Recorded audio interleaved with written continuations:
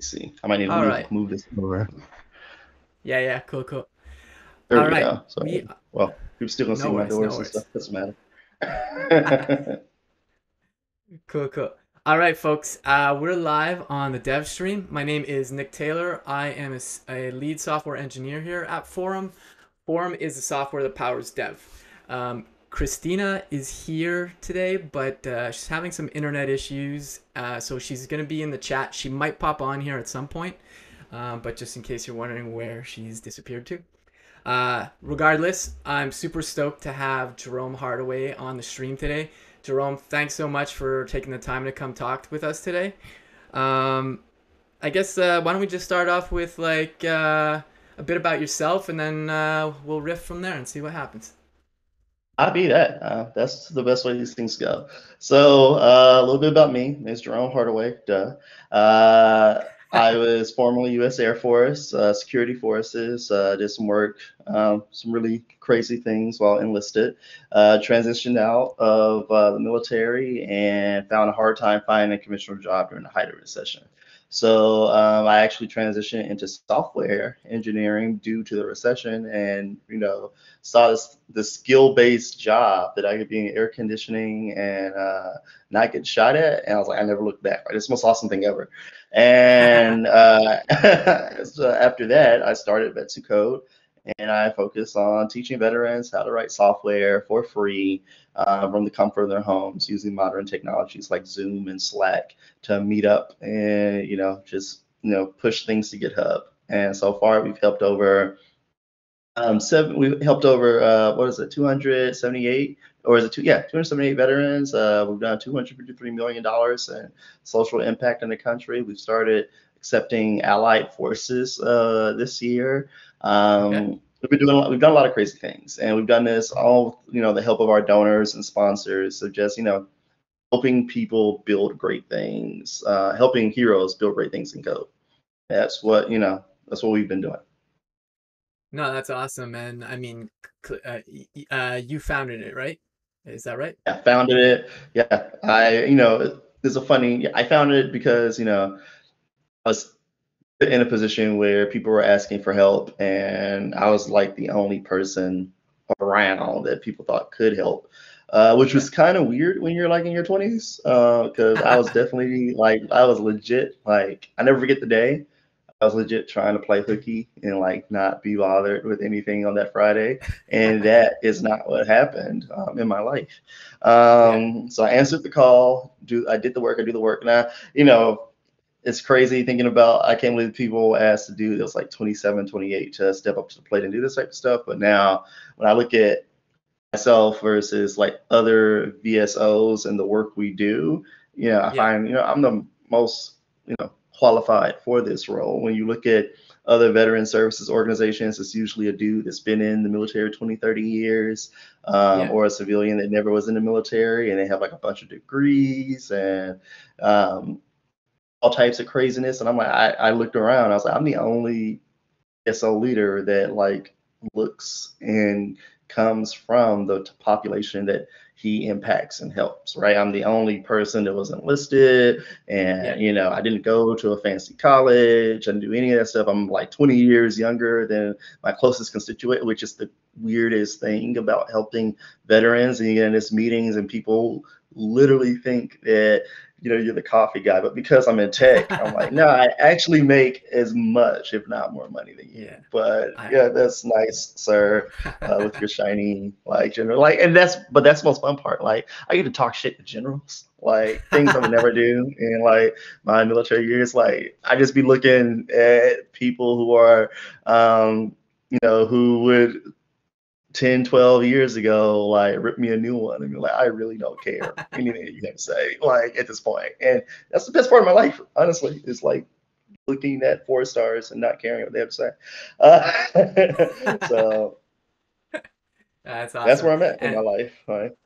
Yeah, and I mean, like what you were saying, and I- can, I I totally get this. Like you were, you were, you were abroad. You know what I mean? Like you, you went through these things that folks went through. So it's like, it's you know, having that person with the degrees who never even, well, I'm not a gun person, but uh, I've you know never even touched a gun or whatever, been in been in battle or whatever. You know, they they can't relate at all. You know, they've never had family. They they never had to do the transition, right? They had a cushy military pension or all this other stuff there, or you know they were officers, so they had this collegiate network already there. And when yeah. you're a first term troop who served six years or four years out the military, and you're like, I don't want to do 20 years of this, but I need to figure out what I'm going to do. And I don't want to do the big four, which is now you see they're uh, fired. They either try when you get out now, they either try to put you in fire, uh, ambulance, cop, or cybersecurity. Cybersecurity is like the closest thing they try to push you towards being in tech as a military okay. person. Um, or they, you know, do what they try to do with me and try to send me back overseas. I'm like, oh, you do private military. I was like, no, I'm not working for Blackwater. I'm good. Uh, yeah, so yeah. like when you're doing, you're in those type of situations, you're like, you know, when you're talking to people, they don't understand how, okay, I just don't want to do those things just because I was in the military. And yeah. you have to, you know, part of it is education. I know all about all the people like, you know, Stan Lee, Bob Ross, uh, uh, Joe Simon, all the people that served in the military and they got out and they did absolutely nothing to do with the military and they, you know, focused on creativity and things, right? Like, you know, the stories of how Bob Ross hated being a drill sergeant in the Air Force because you know he had to be this person that he wasn't, and so he would go home on lunch and yeah. you know he created the wet on wet the wet on wet painting style to make paintings and like you know send them out. And the minute he got out, what did he do? He grew a weird afro and just talk nicely on PBS for the next like 30 years. Like that's what you know. Those people exist in service every day, and that's like my mission. Yeah, yeah. Like I want to find the tech versions of Bob Ross, right? Yeah, no, for sure. I, I didn't realize that Bob Ross had served in the military because, like, uh, yeah, I U.S. Mean, Air Force. Okay, yeah, no, that's super super interesting because you know I've only ever seen it like I, I saw him on PBS back in the day. Like they do reruns. On, I don't know if it's still on Netflix now, but you know he obviously calm demeanor, just like yeah, I'm just gonna put a mountain up here, a little cloud. Yeah, it was actually being stationed to in Alaska that inspired him to get serious about painting like mountains and outside and stuff, right? Or you know, Stan yeah. Lee, he was in the uh, uh, he was in the uh, uh, he was in the army. There was another gentleman that worked with Stan Lee that was in the Coast Guard, but there was uh, the guy that created. Uh, I'm looking his name up right here. I promise you, I'm not doing anything nefarious. Uh, Jack Kirby. Oh, That's what I keep. I don't know why I mess up Jack Kirby because like yeah, yeah. the whole Marvel Phase Four is based off of Jack Kirby's work for the most part, right? All of the, you know, the Eternals, the um, you have the Eternals, you have Thor. Those are all Jack Kirby's works, like Jack Kirby and Stan Lee, and he was Navy. He was like he was in the military, and it was like super crazy because he used to say about how Stan Lee was the more pragmatic one, but Jack Kirby was the world creator, and he focused on like he loved the idea of bringing like theology and philosophy okay. into comics and things of that nature, and like, it was you know him and Stan Lee were like, you know what what you know how that that like two minute conversation they had or like we should probably just create the X Men or something like that like yeah, you know yeah. especially like you know when we they did a conversation about Stan Lee when he was like 90 something and he met up with Arnold Schwarzenegger and they came up with like the superhero kindergarten cartoon that's about to come up and it took Stan Lee 45 seconds to come up with this cartoon and I, you know I I don't. That's my mission. It's like I don't want to be the person that looks at a veteran or a military person and be like, "Oh, you're only good for this like small window of things." Like, no, you're, you know, yeah, yeah. you can go out there, paint mountains, write software, you know, do UX. Like my favorite, like right now, favorite troop. Um, her name's Erin McKinney. UX loves UX. She knows how to code front end. Her primary love is in life is user experience. And she was EOD. And I was like, why did you come? Like, for you, those of you who are on the stream have no idea what EOD is. It's explosive ordnance disposal. Basically, she finds bombs, she blows them up, and makes sure that no one else gets blown up by them. uh, I asked her first. I was like, "So why would you want to be EOD?" And she was like, "Well, it was either learn how to defuse bombs or learn how to jump out of plane." And I was like, "I'm not doing that shit." So Yeah, yeah. it was the bombs. I was like, "Oh, that's that makes sense." I don't see as a person in Air Force, I don't see the, the purpose of jumping out of a perfectly good plane. Um, Yeah, so it was like, yeah, I totally get it. I can, I, I, I'm there with you. We're simpatico on that. And then I was like, so, but why do you, why does UX speak to you? She was like, well, it has like that. With UX, you get to practice the same constant feedback procedures that um, with EO, with like bomb disposal, you have. It's just not as haptic. I was like, that is a very polite way of saying without things blowing up. So, like, like, you know, it's just being able to like have these conversations and like that. Like, yo, of course you can be UX. Who said that you can't be, you know, you can't do this stuff? And it's just hilarious. Like being able to go to the and talk to these people that have like really crazy backstories and then they tell me that I like colors and hex and all this other stuff. And I'm like, you know, or having, you know, right now, uh, I have a special force. I have uh, Andrew, who's a special forces candidate. I have, um, he's a senior software engineer, engineer, but he was a, get this, the dude, he came through our program like years ago. He was in Greenland. Um, when he first came through our program, and he was there on a cheerleading contract. And he's one of the people who helped make cheerleading like get the okay to be an Olympic sport. He has an Olympic No way. That's Yes. I like he was sitting there flexing on because everybody was, you know, because that's what like veterans do when they're, you know, talking shit. Like they, everybody was showing their medals and awards and stuff, and he just comes out in the Olympic ring and like, oh, we're done. Like no Yeah, one like, has one of those.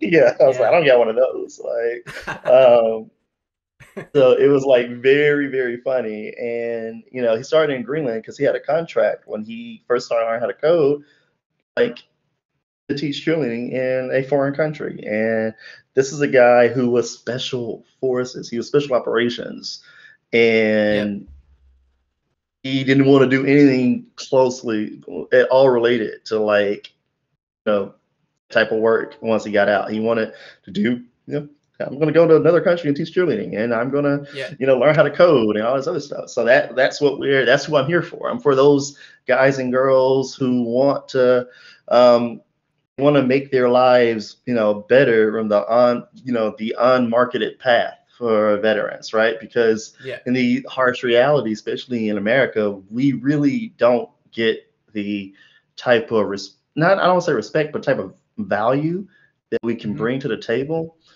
And people aren't talking about the type of benefits they can get from us. So it's very hard to be, you know, I'm in the room and, I, and people think that they're being, especially civilians, they always think they're being fluffy and stuff. And then between when the first 30 minutes, uh, when you're in the room with all the other like the uh, all the other code schools and stuff, you immediately Yeah. start hearing about vet tech and uh, GI Bill, and the same way with like, because like my wife, she's in real uh, in realty, uh, where Okay. she works at a big software company that does real estate, and it's like, oh, it's just like being dealing with realtors, where like in the first five minutes they're like start talking about the VA loan, like, oh, my value is only as important as my access to um, federal funded like money, and Yeah. I know how that feels. And veterans, they're all like, uh, it sucks. And so, you know, when you're dealing with someone like me who, you know, has walked your walk, done your journey, know how to be in the life, know how hard it is, and learn how to code while um, actually carrying a job or, you know, Yeah. dealing with family, newborns, you know, I'm like, I'm about to have a baby in October. I'm like, I'm asking students for advice because I'm like, I have Yeah, no yeah. idea what I'm doing. And um, so like, I am lost. You see me, I'm on Twitter. I'm like, what books did y'all read? Is there an audio book? Like, is there a class? Or like, is there like, I know they got money in me stuff. What's the daddy in me thing? Like, where's can someone cliff note? Where's the matrix? Where's the matrix button? Yeah, Right? yeah. And, Where, like, where's the you know, cheat sheet? Yes, and everybody's like, I got nothing for you. Yeah. It's good that you're asking, but you Yeah, know, yeah. you're you're Well- out of luck, but partner. Yeah, I have I have two daughters. I mean, they're older now, but um whenever whenever somebody says like, "Do you have any advice?" like the advice I have is like no kid is the same. So like it's like if I gave you advice, it might not even work for your kid. But I mean, that's even more like oh, feed it. Those that like that's a definite thing you have to do. Beyond yeah, yeah, that, I don't have anything for you. but I know you have to be, like, I learned a month ago that you can't you have to like slowly introduce solid food to babies. You just can't go from like bottled yeah, chicken wings. I was like, wait, that's new. I was like, I was looking forward to the day I could like I was I had a whole Twitter like my, my, Twitter just blew up. It's like, so when can I give this little dude like chocolate? They were like, hopefully never. What are you talking yeah, about? Yeah. Like they're like, why would you want to give a kid sugar? Because I want to enjoy like my first Reese's peanut butter cup with this guy, and they're like, no, no, don't do that. yeah, yeah, no, it's yeah, you know, there's there's the standard stuff like uh, learning it's interesting to learn how to change a diaper like in different places like if you have a change table that's one thing but you know like if you're doing it in a car or somewhere you know like you, you get pretty like, good at doing it fast you know you're just like see i'm, I'm about to start practicing that because we you know we're yeah, like yeah. at the halfway point uh, point so it's like i need to start practicing diaper stuff right and like they have these like this military dad company and they have like okay. these like MRE dad deploy packs. Like you just snap it open and there's like a diaper and there's wipes and all this other stuff. I'm like, I'm telling everybody, like, no, I need those. That's what I need. I need a thing that I can yeah, grab and I can just deploy. So like that's like, yo, you love me, buy me that. Like, you know, don't oh, yeah, like help make this job easy for me. So yeah. Ha- having said that, I do have two pieces of advice which are generalized advice, but take a baby CPR course. Uh, like here in Canada, at least, like it, you don't pay for these things. It's just like they offer it at the hospital. But uh, that and what was the other thing? Oh yeah, make sure uh, to get used to loud noises because I know people who tried to make everything quiet and it ruins things later on because if a pin drops your kid just wakes up. So you know my my kid was like i don't know we were blaring i don't know iron maiden metallica or something and uh you know they slept like a baby you know? It's it's when it's like a library that's when they wake up so. So make the, you know make the baby accustomed to loud noises and get baby yeah, cpr yeah. i don't uh, I'm going to her wife with this with this advice, and she's gonna love number. She's gonna love the baby CPR one. She's gonna hate the second one, and she's gonna look at both of us, and I'm gonna blame you 100. percent Okay, okay. No, it's no, okay, baby, I would never come up with that. but yeah, you're in Canada, so. so some random dude in Canada told me to do it, so just blame Canada. As a I was gonna be like, yeah, some Canadian yeah. guy told me that. So it's all right. No, no. Uh, before we go on, because you were talking about Stan Lee and stuff, so I, I used to collect comics, so I have like all these. That's so awesome. I've, i think that's, that's that's the coolest part about his job is like because I talk about the comics and I, I try to bring my whole self into the industry because harsh reality of being a veteran is that the veteran experience is pretty much put through the lens of the stuff that sells the most. So you most people don't know anything about veterans between the stuff they see on like in movies where everybody's getting shot or the horror shows you see when during giving uh, during giving season uh, season or doing anything else where like oh everybody has PTSD so everybody thinks that yeah. everybody's you know getting shot and everybody has PTSD I'm like all right there that's very extreme yeah a lot of space in the middle like, yes, people have PTSD, people have uh, post traumatic stress in general. Uh, they don't have to go through war to get that. They go through that to get, they get that from other things. Yeah. And like, people are still like more than that, right? There are people with PTSD that I met. A, I never forget when I was doing work with the VA, how I met a guy who had post traumatic stress, but he was like one of the smartest like people I met in my life. Like he had, he'd been like, he was in an IED accident, but he knew .NET, he knew Python, he knew Golang, he knew all these things, and he was showing me how he worked a you know a computer, and he was t- he was actually showing me. I never forget because he was showing me Ruby code on a computer and on a, on a Windows machine. The only thing I could think about was just how horrible Ruby is on a Windows machine, and this like disabled veteran is doing Ruby on a Windows machine. Like that's the only thing that came to my mind. It's like Ruby and Windows need to get themselves together because like they do not love each other at all. And I was like, oh, no. Like it was, I was just astounded. He wasn't complaining or anything. I was complaining for him. Like this is like let's get this man a Mac. Yeah, because well, because because the the Forem code base the backend's Rails. So if you are on Windows, you got to use WSL. There's there's no other way to do it. You have to be on a Linux based machine. But uh, so he toughed it out though. Sounds good. My first my first uh, job was Ruby on Rails, and it was on a um, it was on a Windows machine because they basically they they did some petty stuff at the company where they got the setup that the guy before me wanted versus asking okay. me what was my preferred setup. And it was nightmare. It was like I like and this was before WSL, so you either had to do a virtual machine or you had to dual boot okay. it. Like I was like, this is I would just throw the whole machine away. Like even now, like that's one of like, and I mind you, I work at Microsoft, and like my my manager, he brought up something about working on a um on a Windows machine. I was like, oh god, no, don't please don't make me. I, that's how I like. I'm so shell shocked. Like I'm still like, no, please don't do that to me. I'll do anything. I'll take a deduction in pay. I'll like move. I'll do anything. Just don't put me on a Windows machine. And he just laughed. He's like, I, I was a slip of the tongue. I apologize. Like that. well, I, I think nowadays they probably have a change of heart because like I, I used to work in .NET until about 2016, and this was the .NET Core now. I don't know if you do any .NET what you're doing these days, but uh, .NET Core it's it's it's works on Linux and Mac now. But back in the day, it was just just Windows machine, uh, so you were kind of tied to that machine, you know. But uh, I, I think because I know there's other people at Microsoft. I'm not positive, but I think Scott Hanselman might have a Mac, or could be wrong. I think I'm pretty sure he has an iPhone. He doesn't have a he doesn't have a Zune player or a Windows phone. I'm gonna ask Scott. Yeah, I know Scott for a fact. Like, has an iPhone. Like, matter of fact, I was Scott. Uh, like, I'm gonna go and I'm gonna text Scott right now. Like, wondering if you have an iPhone. yep, Scott, we're live. I need to know. I need to know.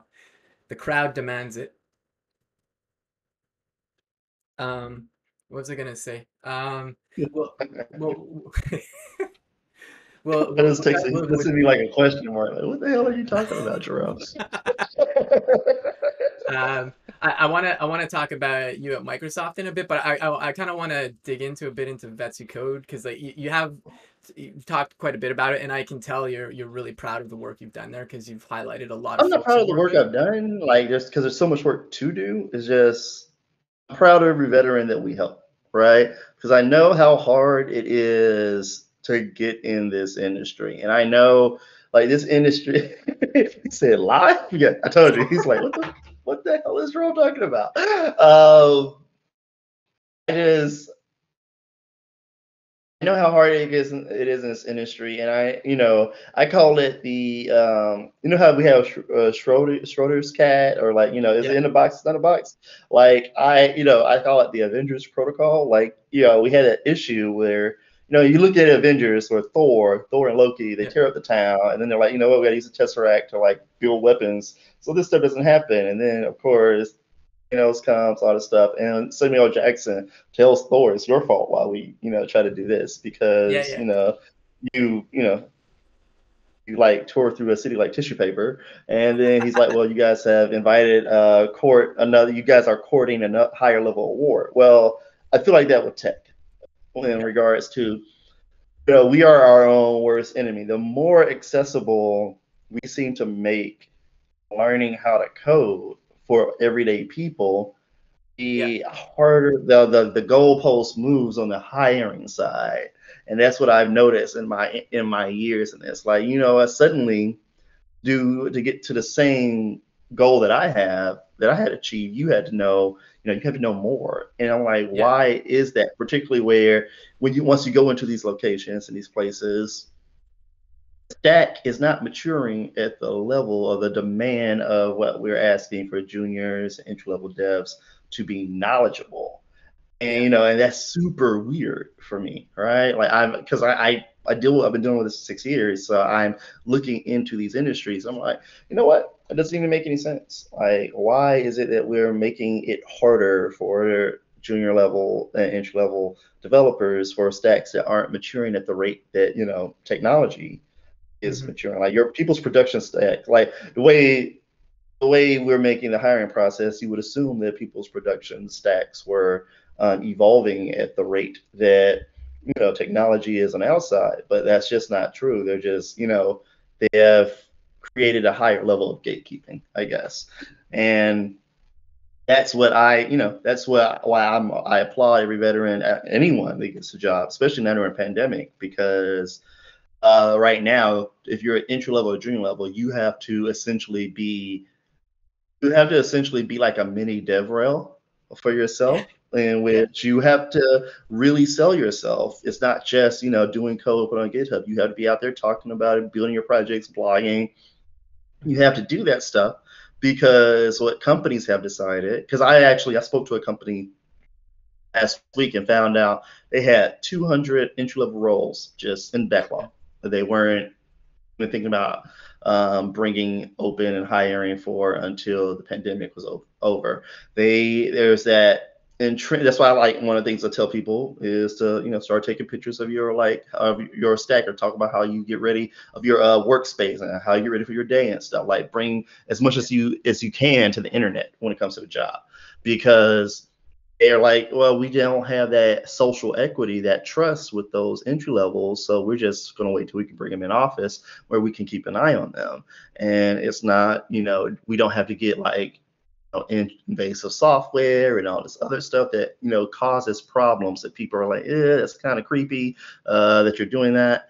Um, so they decided, you know, we're just not going to hire right now on that level, and then we're going to pay if you've been look if you've been paying attention to Q1 at least of 2021, um, we're just going to pay uh, seniors what they're asking plus like 25 to 50 percent more yeah. every senior like the senior software the senior software engineer market and the real estate market are like literally like mirroring themselves where if you have if you have at least one or two years worth of experience, or you have it's the same as if you already have a house and you put it on the market, you put yourself on the market, you're gonna get twenty, thirty thousand dollars more than you know, like, and be willing to if you're a junior, just like if you're a person looking for a house, you're gonna have to do like double the amount of work versus yeah. like a person like who who already who's a senior, right? Like I was on both sides of that with the housing like market, like we were having to put.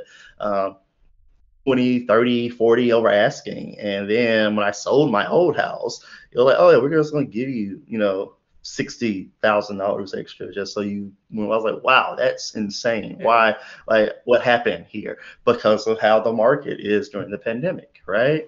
So same way when I think about like the uh with juniors, like you have to think of it like that. Like you're gonna have to do right now, if you want a job, you're gonna have to do double, triple of what you have to do normal market. Will the market correct itself? Yes. Oh, is the uh, are we coming to the end of the tunnel? Yes. But your two options are either wait till we start getting back in office, and then wait till those three to six months where people start finding their groove. Uh, you can either like you know Q1 2022, or you have to do that two to three times work right now. Like there's no way around it, right? I have to. I tell people like my job.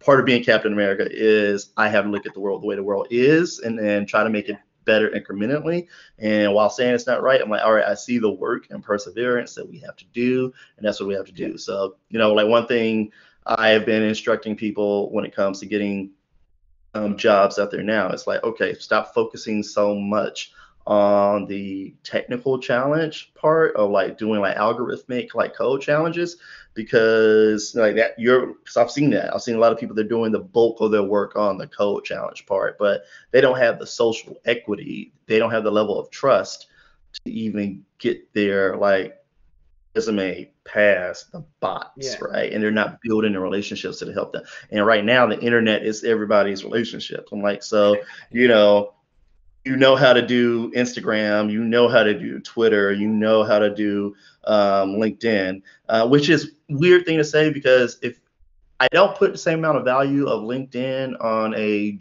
junior or entry level engineer that I do uh, for a senior. When you're senior, yeah. LinkedIn helps a lot more, but when you're a junior, Twitter is where it's at. Like for me, Twitter is where it's at. If you know how to take any level of a good Instagram picture, I think Instagram's going to become the new spot because like I follow a lot of people that know how to make like those, they know how to make infographics. Everybody like Canva has to be making a killing because people are doing that work like well, and I'm just sitting there like I'm literally getting notification. I sign up for your notifications and everything on Instagram because I just want to see how people are using Instagram to like drive their tech career. And I'm seeing a lot of juniors, especially those on the front end, they're using, they're migrating to Instagram, showing their work, um, giving tips, and they're, you know, it's it's a beautiful thing to see people using these platforms in different ways. And you know, GitHub, like full disclosure, I'm a GitHub star, and I do work for the company that owns that company. So like, I don't like take it for granted salt. But before, I was the hugest fan of GitHub stuff and what they were doing. Um, yeah your work learning in public that's the biggest secret. Like if github was like with your especially right now like the github dev 2 and then having your own website right? So like one one of the easiest things i tell people right? Have um, start blogging on dev 2 on practical dev right? Yeah. Have your uh, github set up. Make a github action you know, for your blog. When you write something on dev 2 and you push it on pub you publish have a github action and write that code and have it pushed to your blog. Now it's at two places. You're getting that SEO push because it's on two different it's on two different places. SEO long form content still wins on the internet. Like vir- vir- virality works, but there's a reason why Twitter makes sure that your tweets are uh, being picked up by bots, right? Because yeah, SEO yeah. still is king, right? So you know that's one thing that I continuously and consistently push on people. Like SEO is still there, SEO rocks, long form oh, yeah. content still wins. Video might be more fun and engaging, but you have to when you search for something, you have to tap to go see the videos. The, all the yeah. written stuff is first and foremost because it's still like text is still king. Like people still read um, for right now anyway. Like we're not in an idiot, idiocracy anytime soon. We kind of we, we dodged that bullet, thank God. Uh, that's a great that's a great movie, by the way. I know you Canadians, y'all are like, I don't know if the Americans are wilding. Hey, like, yo, I have because I have a bunch of international friends even from military days. So now we get random like WhatsApp messages from guys I served with like in like Australia. I, I served with Australian forces in Iraq, and they were like, "Yo, like, are y'all okay? Blink twice if you need to be bugged out." I was like, "Like, you know, when Australians are worried about the black guy, you have a problem." So, um, that that's a great quote. like. like that's I was getting some of the most random oh, like I am. It's like yo, like yo, y'all are bugging. Are you okay? so I'm like, I'm sorry, off topic. But yeah, so like I try to tell people like, like that learning in public as a junior and pushing that stuff out constantly is what's going to help your career right now. You have to like you don't have to be on Angie Jones level. And straight up, like harsh reality when it comes to DevRel is like if it's not Angie or Nader everybody else. It's like Angie and Nader, and then it's everybody else. Like, or no, Angie, Nader, Jason, and Cassidy. Yeah. I give those four. They're the goats, yeah. like they're the four horsemen, and then it's like everyone else. Don't I don't even care about anyone else in the game. Like those are the those are the big four. Those are the juggernauts. Like Cassidy, she can do it all. She can code well. She can make it unclear that even a five year old can understand it. She can make you laugh while doing it. Like Angie, like I don't understand how Angie doesn't get her flowers the way that Angie should. Because like, and like, yo, Angie is like she's African American female who has like in like in charge of like been the person that a billionaire listens to about technical like decisions. Yeah, yeah. Like who like can we like shut up and wait for like I have never had a billionaire listen to me for shit. So like that's pretty cool. Like, hey yo, you know, that billionaire is like, Angie, what do you think? And Angie's like, yeah, whatever. And 26 patents, and and everybody's like, oh, she's just a normal person. I'm like, normal my ass. That's a superhero. Like, go and give her an iron suit so she can go and fix some of this stuff. Where it's like, can we like uh, make her an Avenger? Like, go ahead. no, I was gonna say, speaking of Avengers, she she had a she tweeted out uh, which banana would you eat yesterday, and uh, saw Mark the, Incre- the, Incredible Hulk answered. He's uh, yeah. I said I'm, I'm banana number nine as well. I said go Avengers assemble, but uh, yeah. like that was a wild tweet. All I all I learned is that half of the people that I used to respect are savages, and I no longer respect. That's why I say use. Like, oh, like y'all like the people were like, oh, like eleven or twelve. I was like, yeah, hurt yeah. you as a child? Like seriously, who hurt you? Like that's not people shouldn't eat those. That's banana bread and smoothie. Like once you got That's past nine, yeah, yeah. banana bread and smoothie. like if you are eating those, that means like you had a rough childhood and you need therapy and a hug. Like straight up. And I don't care. Like they could at me. Like yeah, Dro, just say I needed therapy and a hug. I'm probably right though. oh man. But yeah, speaking of those four though, like I swear to God, I think like Angie, Jason, Cassidy, and, and Nader, they could probably read a back of a shampoo bottle to me, and I'd be like, wow, that's super interesting. You know, they they're just know, they're yeah. really good. Like, uh, and and they they also put out really great content as well. Um, but uh, what was I gonna say? We were talking about the Avengers, and then Zuko, jobs. We just did back yeah, and forth and enjoying it. Yeah, no, it's all good. It's all good. Um, yeah, I, so I guess like for the for the job hunt, oh yeah, that's what I was gonna say. Uh, I definitely agree with you. You do have to promote yourself, and it, it's it's kind of unfortunate, but that just seems to be the way it is these days. I don't think it's unfortunate. I think that's one of the biggest issues with tech and networking as like what we currently see it. People treat networking the same way that people treat sales and promotion. It's all interchangeable, and I think it's all like bad or a dirty word. But I'm like, no, it's not. Networking is literally just making friends in the industry that you want to make money in. Like we all spend, we literally all spend money on the exact same dumb crap. Like we all like everybody in tech went through the keyboard phase during the pandemic. You know who didn't go through the tech keyboard phase during the pandemic? my wife. Want to know why? Because she's in ops and she doesn't give a shit about her keyboard. So like she she's like, what?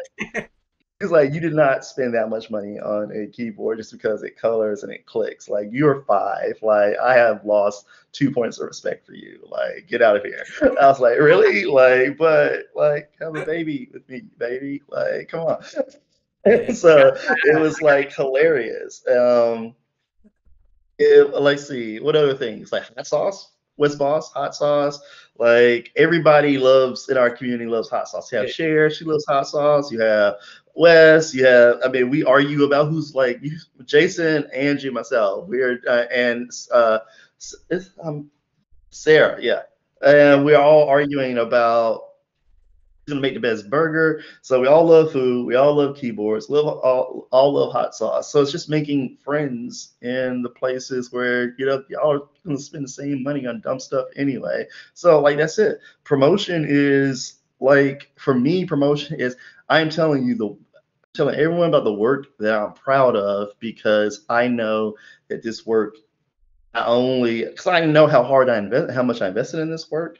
Not only um, just know I also know how um you know how impactful my work is, right? So like that's how I look at it. I see the hours like I the iceberg effect is real. People are only going to see the highlight reel of what you're doing. So like when people like see the people see the um, aspect of like oh how good Vets Who Code is done or how, what type of crazy stuff, that's only tip of the iceberg. I see all the crazy stuff that goes below, and I want to make sure you see all the crazy stuff that goes below. I want you to, I want to be able to talk to you about social enterprise as a uh, as a service type deal, right? Like how to build an affordable social enterprise using Jamstack technologies. I want to when I like when I first joined Practical Dev, I was like, oh, yo, this is going to be nice because it just it like I tell my troops, they're like, oh, should I go on this one or should I go on this one? I'm like, well, this one is the one where the only people on it is us, right? So you're not fighting the noise from all the marketing people and all the thought leaders from other places. You are you're not going to have to compete with Mark Cuban on dev, on practical dev because he's not on there, right? So no one cares about Mark Cuban. It's all tech stuff all the time. Yeah, yeah. Right. So that's where I would rate. Like I rate on practical dev because I know the only people that are writing on here and talking on here are people who are thinking about code. So like, let me go, let me write where the coders are, right? So and it's like, oh, it's not promotion. It's kind of like I call it. I don't even think of it as promotion. I think of it as breadcrumbing, right? Like it's about starting a conversation that helps someone else, right? You're helping companies solve their problem anyway because they got to hire somebody. If you make it as easy, why not you take their money and make it easy for them to not have to go through the interviewing process. I've had so many people who have done all the work up front of like getting, you know, when it comes to promotion and stuff, where they get to skip interviews because, oh, you know, that guy had to go through five, but you only had three because you answered questions they already had. They already knew from reading your blog how technical you were and how you solve problems or why you solve problems. They know your passion. They know how much you're thinking. You know, that's where that's the why behind it, right? So don't look at it as bad. Um, because if you're doing it right, you're keeping your the more you do it, and if you do it correctly, the less work you have to do in the interview phase. As a person who does this stuff all the time, right? And who's, you know, I'm one of the few, no, I think I'm the only software engineer who's also on the nonprofit side who's in this, like, you know, I'm in this battle with you. So I know, I'm not telling you what I think. I'm not some, you know, dude who's like a CEO of some boot camp. I'm telling you what I've experienced in my own life. As a person who constantly writes code, constantly writes on shows and stuff, they know how I step through and solve problems. They can ask me these questions, or they can just go read a blog and they can, you know, I can answer these questions, right? So that helps me like the job faster or get to the interview phase fact faster. That helps me in situations where they're like, you know what, we're not going to have to go through so many things because we can already answer these questions right here because he literally has product that's live and he's impacting people every day. So we know what this person's chops are on these things. And we can see where we can grow and go from there, right? So that's what you're doing. You're pretty much, it's like if you were dating, and you knew everything you could know about this person and know like your chances of getting like to know this person for years or like this person you would versus like oh I got on this blind date and I got on three blind dates to figure out what's this what's the real crazy that this person has right? Now you're like oh if I could just go on one and a half dates and figure out this is a go no go this is you know that's pretty awesome right? Right? Like I know that Coinbase would never hire me because I have never been the type of guy that looked at a CEO's bank account and like, well, I'm not going to challenge this guy because like I've been in a situation where people throw bullets at me. And I'm like, eh, you know, Coinbase CEO is kind of an asshole and he doesn't like being challenged like that. So like he's not accustomed to that world of where people he's not he's you know he's a 38 year old billionaire. He's never been in a situation where I mean he's, and he's anti BLM like from what the media says. So he's never been in a situation where, you know, black guy doesn't care about anything he has to say. So it'd, it'd be kind of fun to be in a room with him, but I, he would never hire me, so that would never happen. But yeah, I also know like places like Microsoft, they absolutely love me, right? Because like Jerome, you know, he's about DNI, he's about the love of the things we care about, right? Which is work. He loves serverless technologies, but more important, Jerome's entire focus, uh, his past six years when it came to code, was helping people get jobs. And in the end of the day, Microsoft is their core of their business. Their core businesses is all about, you know, it's all surrounded about work particularly in like high level knowledge worker space, right? From the Microsoft Office suite to uh, Teams to GitHub to LinkedIn. Like then you have like Xbox, that's you know play X uh, arena, but then you like I said, when you think of it, now so many other products are focused towards the craft of work. I'm like, oh, this dude, he loves. He's been that's where he's been at forever, right? So like they love it, right? That's the yeah, that's that makes sense, right? So like Coinbase yeah. is saying no, Microsoft like, yeah, we love you. Come here, like let's go. So, but that's how you do that, and it helps, you know, helps make craft easier, right? Like I have I have a Stephen Clark, Steve Clark. This is like my favorite like story of like how something like things just work. And that's another thing like when I see veteran um not veterans and just the vets, but just junior entry level developers do things that don't you know, they they they hard themselves by the job. Um, yeah. right.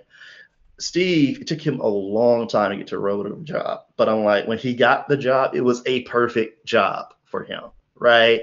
So yeah. Steve, he's a retired Marine. He has a farm. Like when I say farm, I mean pickles and geese and chickens and ducks and goats and all this other stuff. I'm like, yo, that is wild, bro.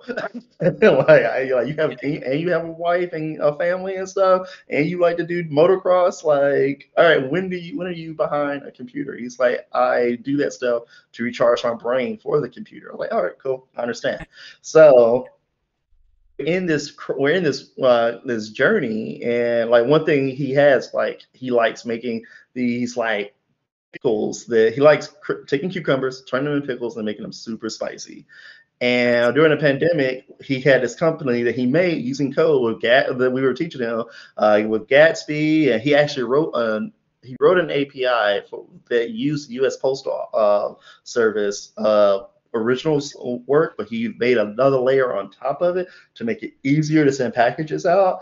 And okay. he created this company called AngryPickles.com, right? And he sold out over the summer. Like Wes Bos bought some, everybody bought Angry Pickles, right? I even bought bought two of them because pickles are. I did learn that angry pickles on hot chicken probably not good. You kind of just want like a plain pickle when it comes to hot chicken because okay. spicy pickles, hot chicken, you're like, yo, this is a bad three day experience. So like I'm, I don't, I'm not, I'm straight up not having a good time. Uh, so like we, but he was growing these and building this stuff, and he ended up getting like somebody slid in my DMs like, "Yo, you got any troops?" There'll be we had a troop fall through an intern, uh, uh, junior fall through an internship at Growers, and you know, I would like to see if you have anybody available. I have the perfect guy for you. Like, because he was like, he had all these, like, they had to be like within 50 miles of this. Like, wait, South Carolina?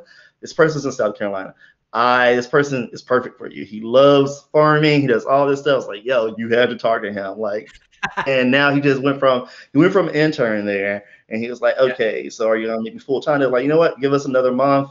We're gonna put you on contract for a month, and then we'll see. Did that. Now he's a full time engineer there, and he was like, that's awesome. And I'm sitting there like, dude, like, can we talk for a moment about how you're at the perfect job for you as a developer? Like there's no one who knows the hardship of people that grow shit better than you. Yeah. But suck at this job because I don't care about. You know, I my I close for me is Kroger, right? I'm at Kroger, so uh, that is like, like, but this that is perfect for you. Am I breaking up? Am I lagging? Yeah, it is saying that I'm doing. Now what's up? I don't know what's going on. Hey. Uh, no worries. Cool. Uh, I like that. I just like saying that this. this I'm stuck. I'm stuck in a.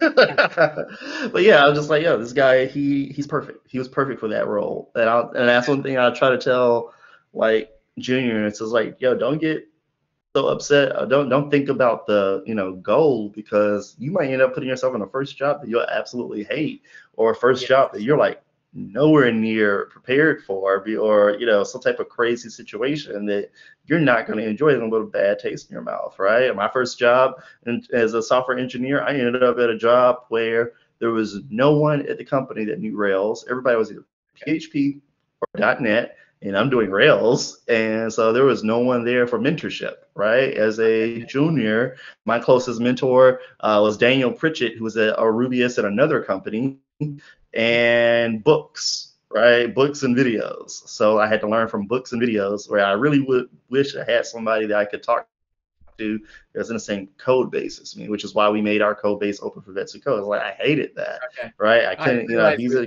different source. code base Oh yeah, we're open source. We always, um, I've always been pro open source because all the fun stuff really is open source, right? Like what not open source that is fun? Like and what's better. I guess the best question is, what's fun that isn't open source? Yeah, I don't know. I mean, I've worked in closed source, but I, I the reason why I like open source, well, I I mean, Forem's open source, and I definitely just I find it, there's so many things I like about open source, but just like you're literally doing your work in the open, any literally anybody can come in. Obviously, there's sometimes I, I've I've rarely seen it happen in our code base, but I've seen in other open source code bases. You know, sometimes there's assholes that just happens, but in general I think the the open source community has been pretty awesome, and I, I love like one of the reasons why I love working where I work is because I get to work with people in the community. You know, like I review PR like because we review PRs of the internal team, but I'm constantly reviewing you know people from from literally anywhere over the planet. You know, and it's it's really satisfying to help them out or guide them a certain way. You know, and it you know, I mean, don't get me wrong, it doesn't help to get paid and work in open source. Like to me, that's kind of like the dream. So uh, I'm definitely loving it. But uh, and it kind of ties into the marketing thing. Like, and what I was what I was gonna say before when I said it's unfortunate, what I meant was like as a new dev because there's so much stuff you have to do. You know, like because I'm definitely a big fan of Learn in Public and I mean, I started streaming on my own and I started pairing with folks from the dev community to do PRs to what, what was our code base. And then eventually I've I've made the, the stream we're on now became that and that's like it's part of my job now, which is pretty awesome, you know. Um, but I got a lot of inspiration from like I started streaming because of Jason Lengstorf. I saw what he was doing. I was like, that's cool and all the the whole learn in public movement it's existed for a while but i think shawn wang definitely popularized it and definitely he does a lot of great stuff in that space you know and i try to write more and stuff there too and you know i have all this stuff like you're saying i mean twi- twitter is definitely i find the place for tech like you know that's how i've met so many people I have my Instagram. It's you know I post stuff, but it's mainly you know me working out. I built an ice rink this winter. You know, it's kind of more like that's what I do outside of work, kind of. Well, see, that's the beauty of it, right? Like I think, and that's where like I want to start getting towards, right? Us integrating the whole person, right? Like, okay, you power lift, you do, you know, you do ice rink. That's insane. Like I can't build took me like a week to build the desk that I have, right? Like I was like mega desk, and I was like, this sucks. I wish I could have called somebody to do this. Uh, like uh, the pandemic is like really hating on the player. Um, so I I did it, but I hated it the whole time. So like that's impressive to me, and like I see that like when you look at the whole. You look at people's whole self, like you also see like differentialities in communities, right? Like when you look at West Coast devs and you hang out with them off time, and they are in bars and stuff, they talk about their side projects and code and stuff. However, when you go to like when you're southeastern region of the United States and you're talking to developers and what they're talking about is literally like what they're going to build outside or a grill or bar. I know I literally, if I can make a heat map literally every developer I know that can like throw down comes from like they're in like southeastern, like who I know can let that will like if you went to their house like this weekend, you will have a good time like with food.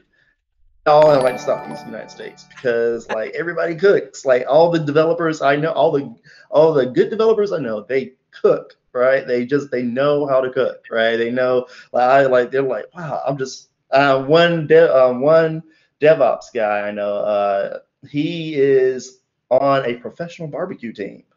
Like, I didn't know that existed.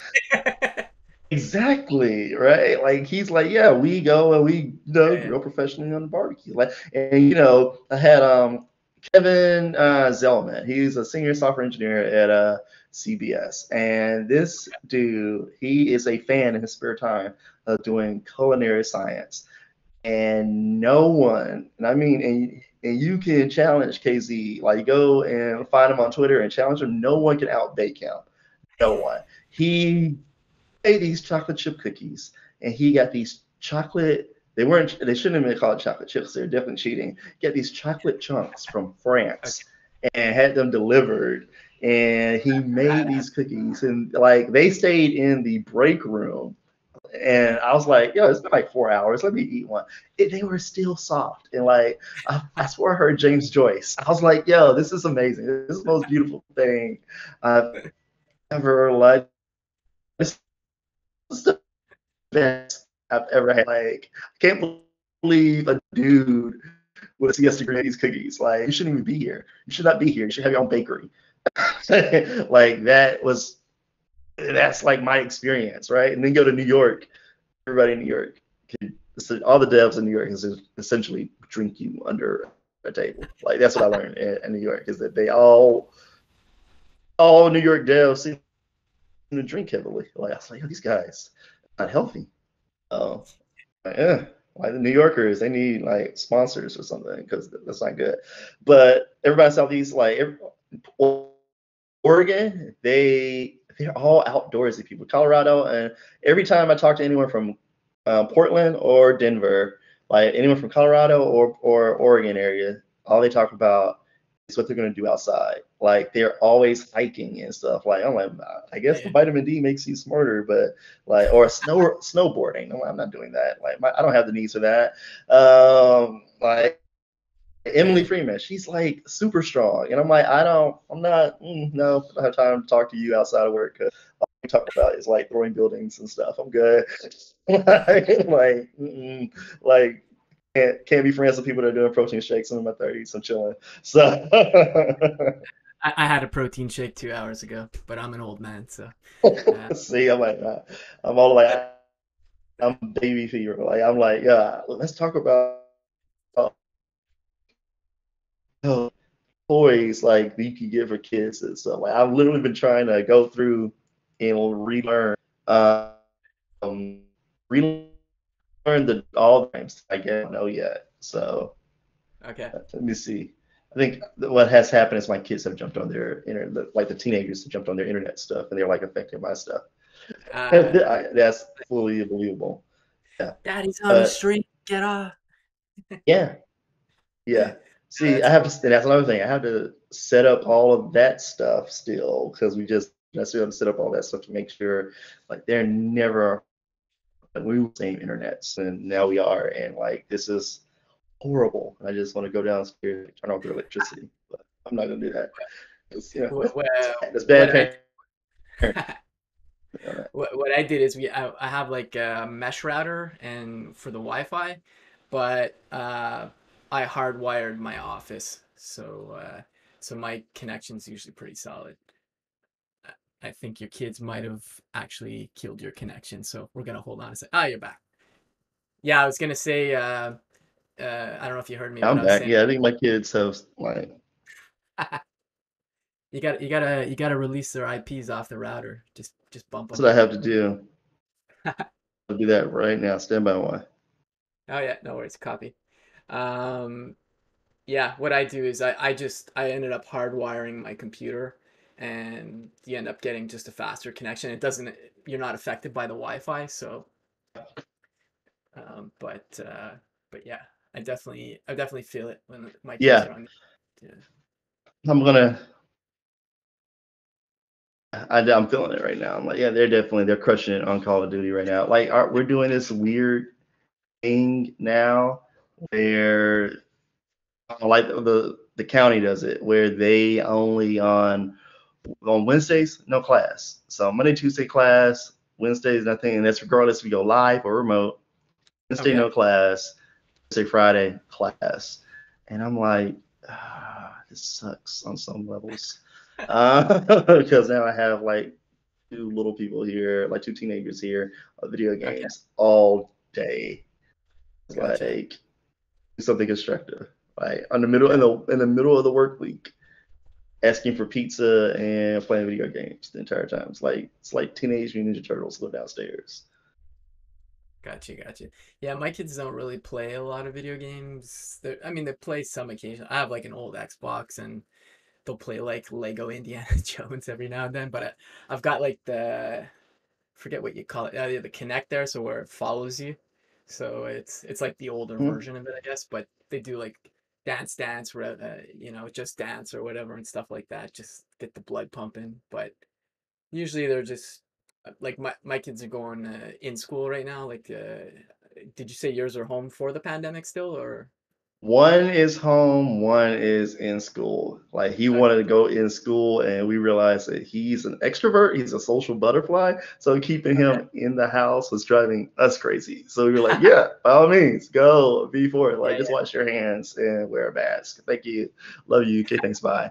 And the other one, he realized that, you know what, if I'm at home with the with the parents all the time, my chances of getting Chick-fil-A during lunch, like improves 100% and i really love chicken nuggets so like i think the whole point whole reason that one chose to be remote was because lunch is better Yeah, yeah. so like We got nuggets on the menu. All right. Yeah, I'll work from home. Yeah. guys I, is like wait no school lunch i mean I've never actually had Chick-fil-A. I don't think it exists in Canada.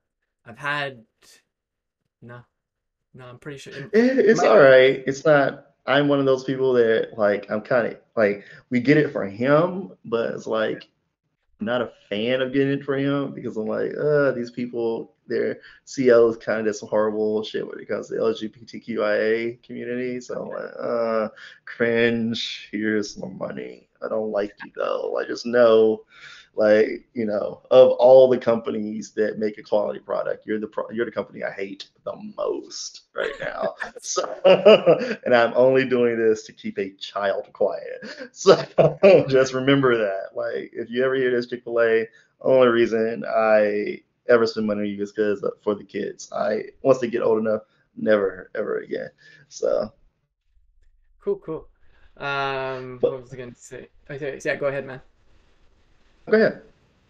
No, I was gonna say I don't know if you wanted to talk about habits at all. Like I, I can definitely I, I can I can definitely relate to this. I mean, uh, I played university sports for years, like played rugby, and like you're just, you know, even working out, like that's habits to some degree. But like I'm sure having been in the armed forces, there's definitely habits that get developed there. So Uh, well, it's not just habits. It's about what's the best way to say this, right? I don't like if you ever read James Clear Atomic Habits, you know I'm a big fan of that.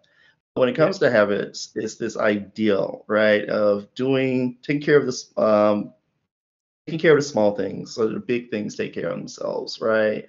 So like one thing that I see, especially with juniors, intro ups, they're like, I don't know, I, I don't have like meaty enough projects. I'm like, well, if you're coding have you ever decided to spend 30 minutes on your like your Monday just planning out what you're going to code?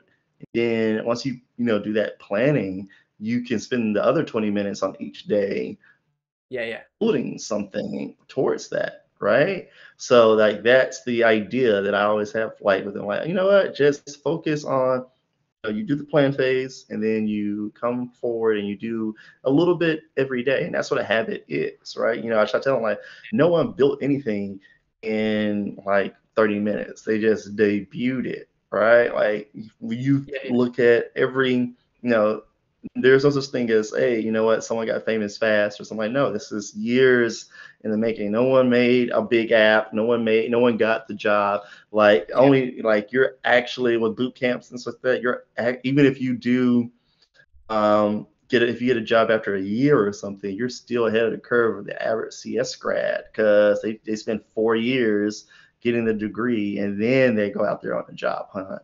So it's like you have to think of it in that in those constructs of like what are the habits that you're building that's going to ensure you have success, right? Like my habits when I first started, I, I never spent more than four hours learning how to code or doing code stuff when I first started, right? I yeah, spent two hours in the morning doing drills, like either going through a book or you know, essentially going through a book or in the video for the first two hours. Uh, second two hours in the afternoon, uh, my four to seven, and on my seven to nine p.m., I would try to focus on my mastering my seven to nine p.m. I would just I would write or build or do e- or do emails or I would do the email, do a draft, put in draft, put a time a reminder on my phone to go and yeah, send that email in the morning and be done with it, right? Like every even now, like Mondays are still my heavy email days, right? If you want to get a good response from me, you need to reach out to me on Monday because I'm just in that habit. Uh, that's when I'm going to talk to you is on Monday. Uh, like if uh, if you don't reach out to me on Monday, your day. If you don't reach out to me on Monday, you don't have my number or you don't have any way to, like you're not in my Slack, you're gonna have a hard time reaching out to me. Um, same concept with like learning with my writing, right? I know that, like for instance, I can't write on any on, on my dev machine, right? I know that for a fact. My computer, if I'm on my computer and I'm trying to write, it's never going to get done. So I have an iPad that is the only thing I use is writing, and I know that once I get that, I can go anywhere um, and I can write from there because I'm not going to be able to, you know, literally, I'll write something would come in and, and like, I'm like, oh, what's that? Or someone hit me up Slack, and next thing you know, spend four yeah, hours triaging some code, and you have 20 words. Uh, yeah, how rules about that? I don't tweet from my any machine beyond my cell phone because I know that if I start that, then that's going to take up my time, my machine. Yeah. My hands get on my keyboard. I try not to do anything beyond email and email, Teams, code. Like that's it, right? Because if I do it from Twitter, if I do it from my machine, then my machine it becomes a part of the ecosystem here, right? So yeah. like I do these like separation of concerns, I guess is what you would do. Like you know, yeah, come yeah. like because t- Twitter is my primary um, communication tool, so I primarily um, tweet from my phone because for me that's easy. Um, yeah. When it comes learning when it comes to learning how to code, right? When I right now I'm learning Python, Python and Databricks first thing I do is I look at what uh, I, I have this because of the military. Uh, how I was trained was crawl, walk, run, right? So I do something basic that I can ask questions on, and then I do something intermediate that I'm like less hand holding and more from the dome, and less, you know, more asking, doing things on my own. Then I do something called like oh, children run phase. So I do something big, right? And like that's what I did when I was like last month I learned .NET. But what I did was like I went through all the Microsoft .NET stuff, and especially with their VS Code stuff because I needed to go through that for VS Code because I did not want to use Visual Studio at all. Like so, they I did all their basics with VS Code, and then I went through uh, Pluralsight one that was for also wasn't just .NET, it was also for, with Razor Pages on .NET, and okay. went through there and everything they did for then basically what I did for that was um, everything that was um, Visual Studio, I did it for Visual Studio Code.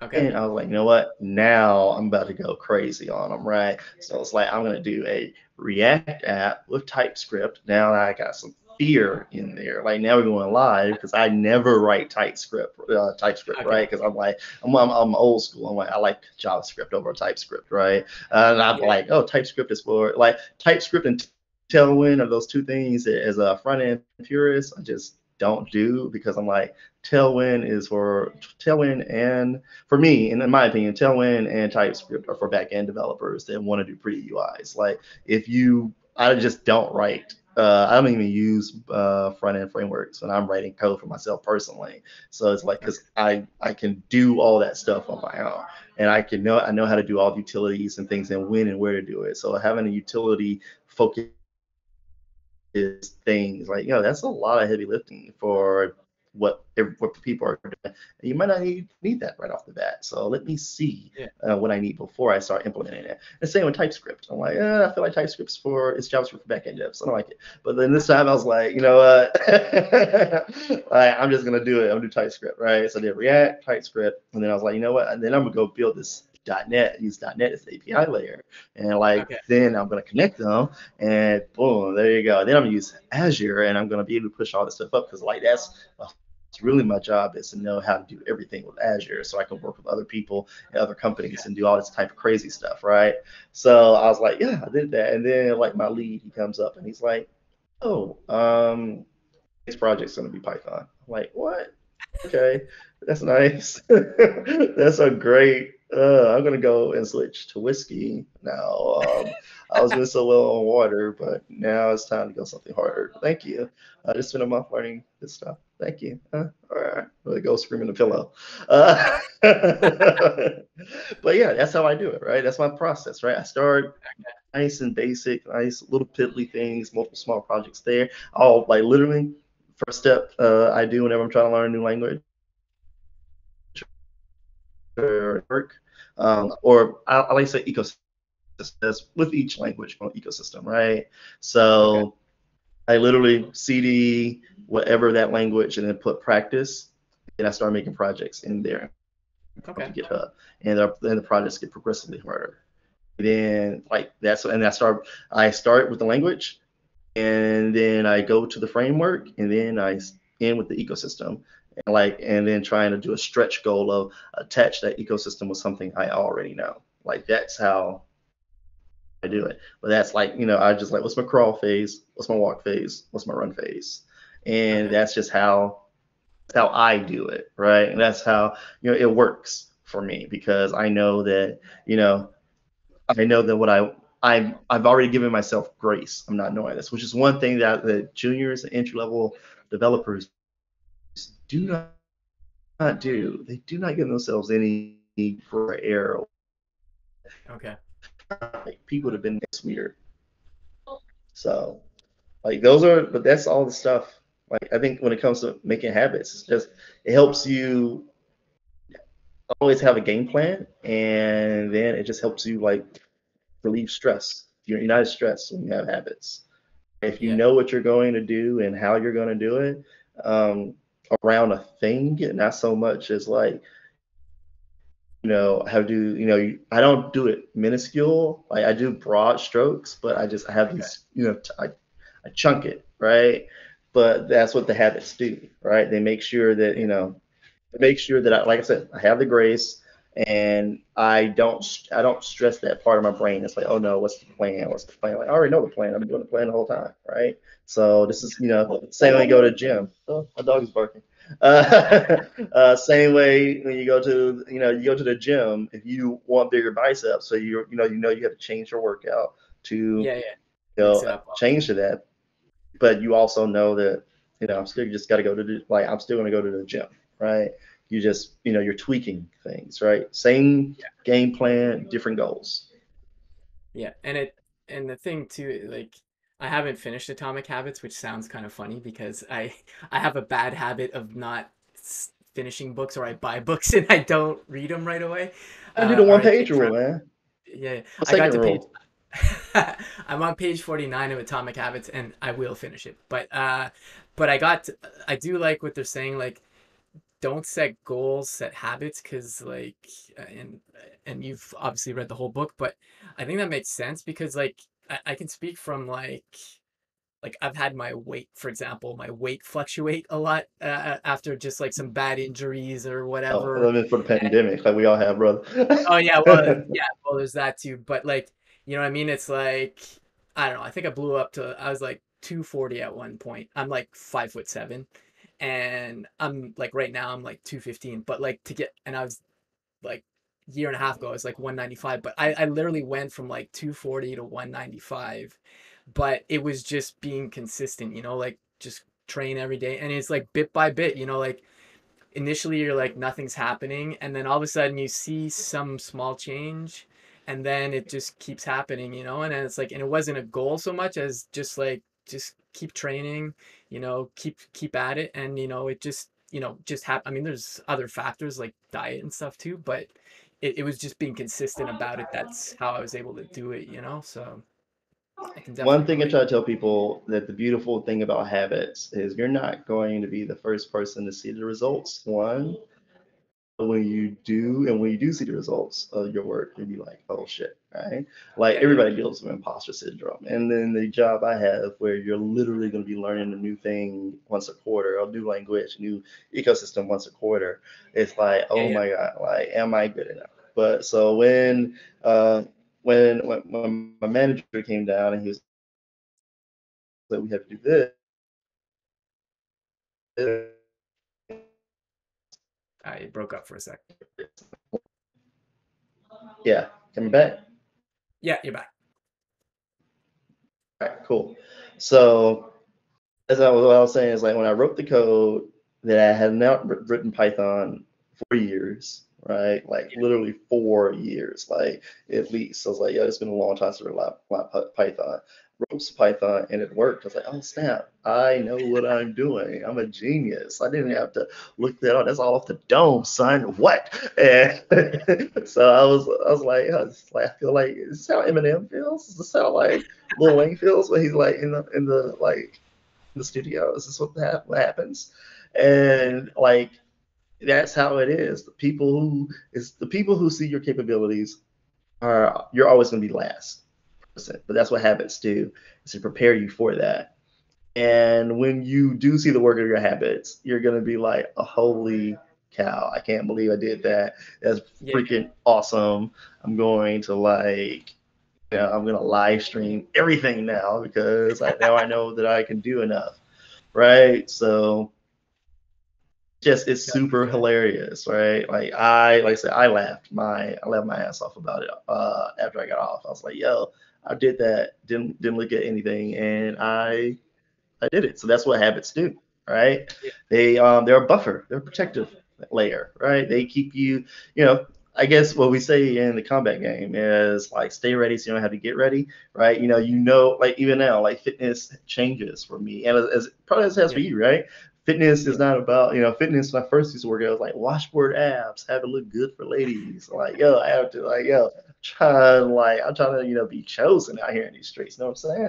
And like now it's like I have to keep up with all these kids, right? Like that's what I have to do. I'm like, you know, I'm gonna have like he's like he's not even here yet, and I'm thinking like eventually he's gonna be two, and he's gonna be outrunning everybody. I you know I do not have those knees back in the old days, like you know whatever like Megan Thee Stallion knees are. I do not have those. Like and dude, mm-mm. like I am in a like nice slow jog type of guy, so I have to right. get in shape so that way I can keep up with, with all the like you know, there's two teenagers downstairs. I gotta keep up with them. Then there's gonna be a baby here. I gotta get ready to have the energy levels. So you get woke up at two o'clock in the morning for a sleeping baby, right? I have to change the diaper. My wife is doing all the work on incubating, so I have to rise to the occasion when the baby's here to make sure you know she can rest and stuff. So I'm like, I you know that's all I think about when it comes to fitness. Like I have to be able, which changes your your workout. You know, when you're doing your workouts, like all you're thinking when you're young,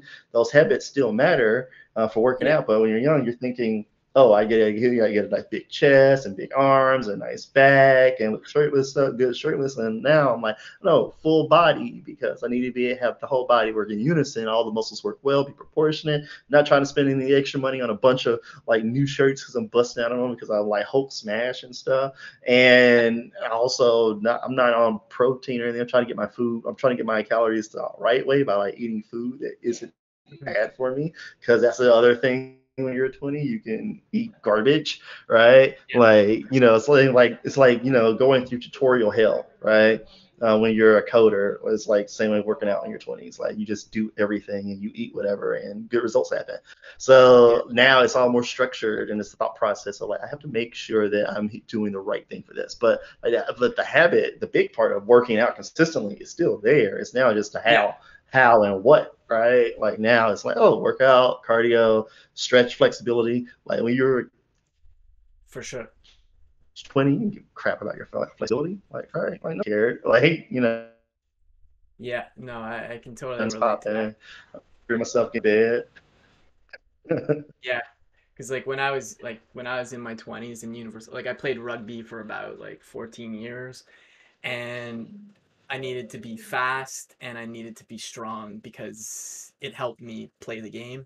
So like I was always lifting like crazy weights and stuff. And nowadays I'm like, all I'm worrying about is I don't want to get injured and I want to have like good core core strength so I just don't hurt my back or something. And you know, I mean, if you end up looking good too, that, that that's great. But uh, all you care about is like not injuring yourself getting out of bed when you get past thirty. Like I just yeah. don't want. I just want to know where the pain is coming from. I know. I just want to even know what I did. Did I deserve this injury? Did I earn this injury? No. Yeah, you yeah, slept yeah. the wrong way, and now your neck hurts for two days. Like, ugh, this sucks.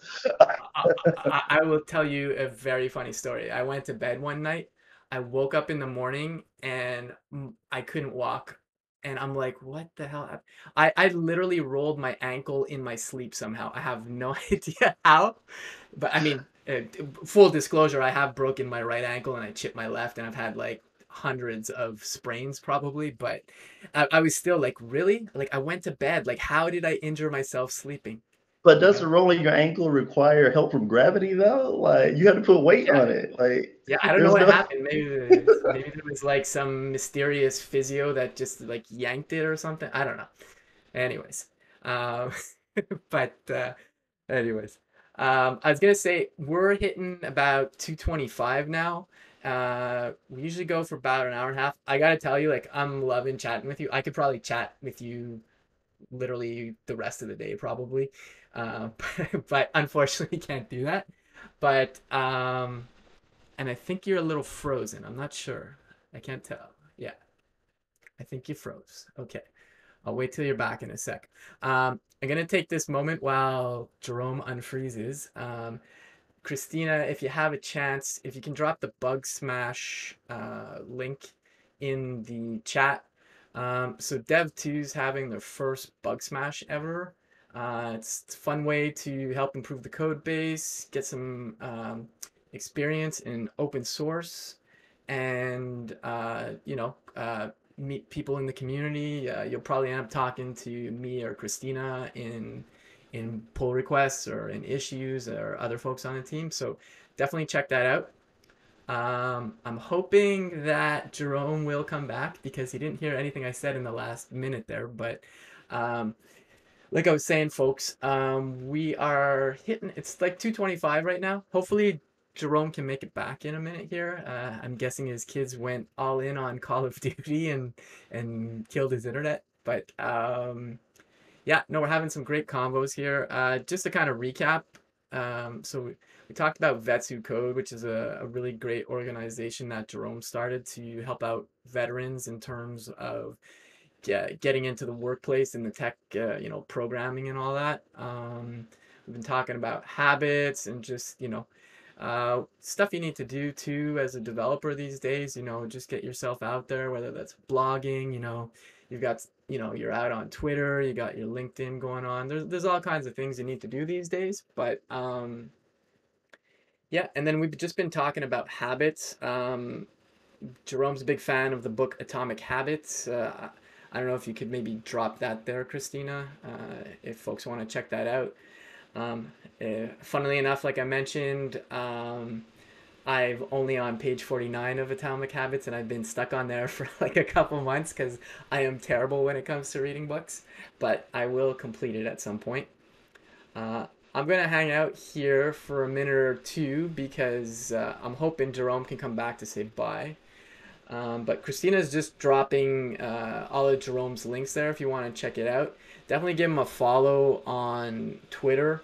Uh, he's on dev.to as well. Uh, there's also Vets Who Code on Twitter. Uh, I'm just gonna check my Twitter to see. Yeah, he lost his connection, I think. No, we're still on. It's live. Maybe your internet died. Just trying to get uh just trying to get Jerome back on here. Um just gonna see here. So let's just see here. Yeah, we're still going. So uh yeah, all right, he's coming back. Cool, cool. Awesome. Just give it a sec here. All right. Cool. So Jerome's just popping back on here. Do, do, do. We got the uh, Discord, two little cubes there just spinning around. Me, I'm just improvising. Uh, I'll go back to my mime stuff. I'm stuck in a box. I don't know. We'll see. Um, yeah, hopefully Jerome just connects here in a second, and just we're gonna wrap up. Uh, I want to thank thank him, and just uh, we've already kind of recapped what we've gone over, but uh, we'll give him a sec here. See what he's saying in the Twitter DMs.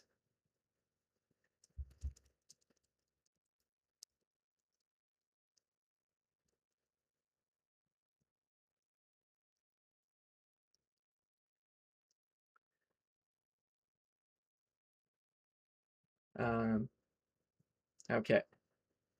Um, all right. I'm just going to see if you can try again.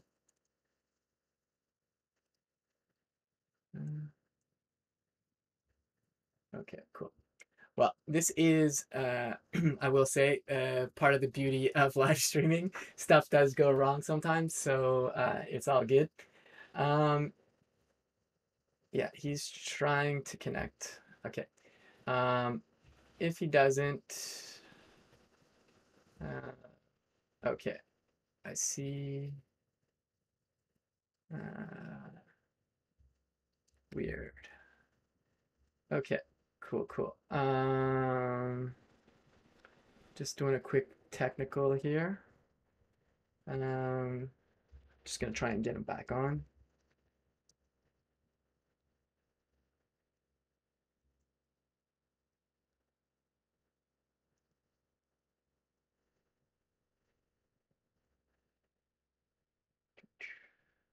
All right. Well, anyways, um, Jerome's just uh, like I said, gonna try to connect again.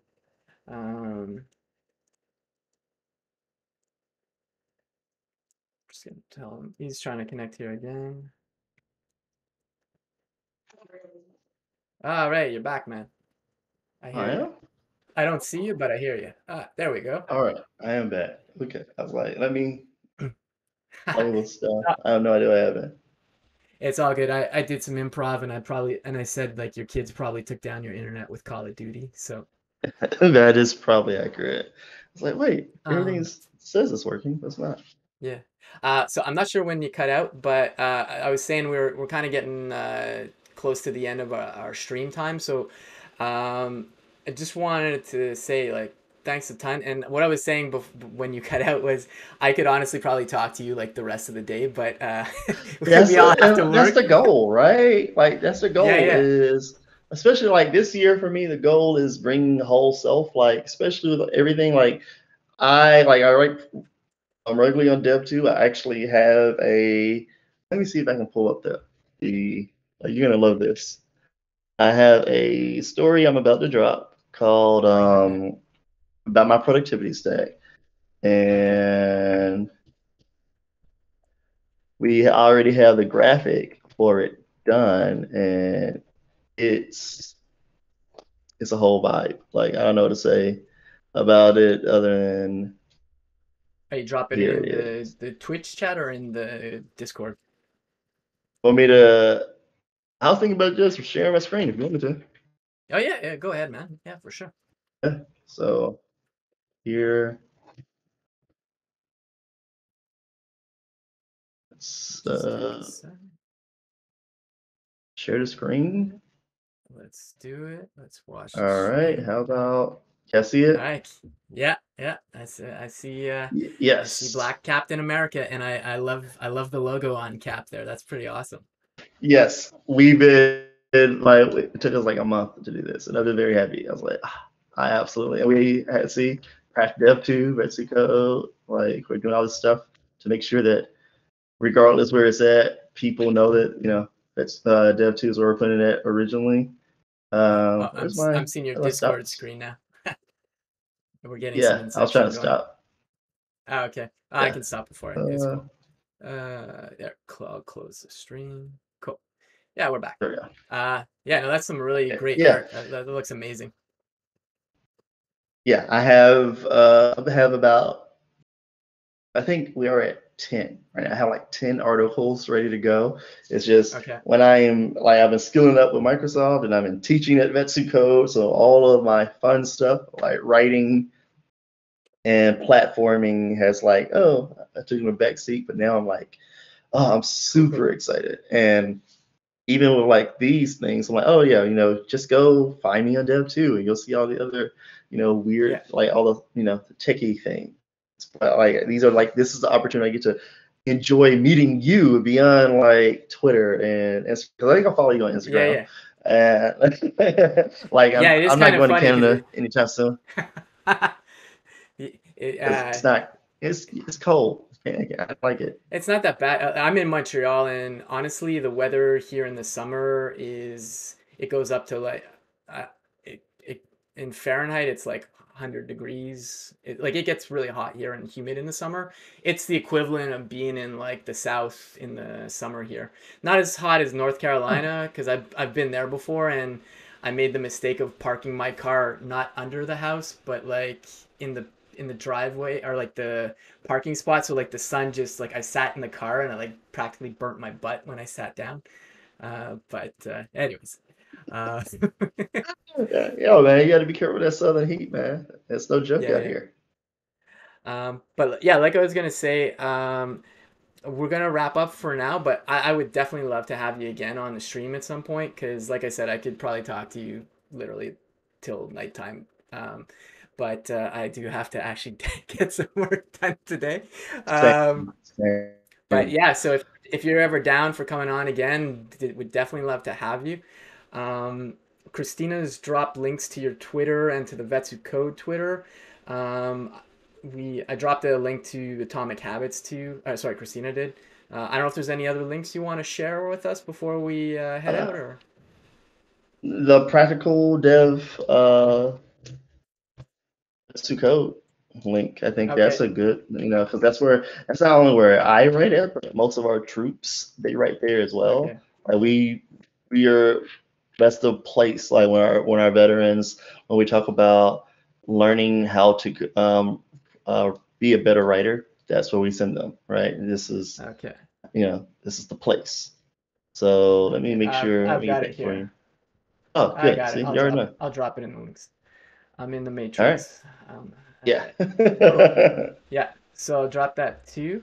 Uh, so Yeah. that's the Vets Who I, code you know, dev.to. that way, don't, you know, just don't follow what I'm writing, right? You know, you get a good level of like what our students are writing and how what they're learning. And you know, uh, David Tetro, who's doing a like I think he's doing like a hundred articles on uh, you know vanilla JavaScript that he's trying like that's his goal. And I was like, yo, that's a crazy goal. It's like, yeah, Yeah. cool, whatever. Uh, you know, Schuster, he does. You know, he writes, he pontificates. He doesn't even write. That's how I'll say. He doesn't even write. He pontificates about different subjects, uh, like learning when it comes to code, whether it's a JavaScript or PHP. Same with Tim. Uh, Tim Apple, which is fun. We have a veteran named Tim Apple, uh, who actually got kicked off of Twitter because they thought he was a fake. Uh, he was a Okay, bot because uh, our last president called uh, Tim from the, the guy at Apple called him Tim Yeah. Apple, and they were like, "Oh no, this is a fake person." He's like, "No, that's my real name. Here's my driver's license. like, here's my birth certificate. Please let me back in." I was like, "Yo, Twitter just really Uh, legit kicked you off the uh, internet because of a president making a, a mistake." Like, I've never thought that the day would happen, but that it that's happened. wild, fam.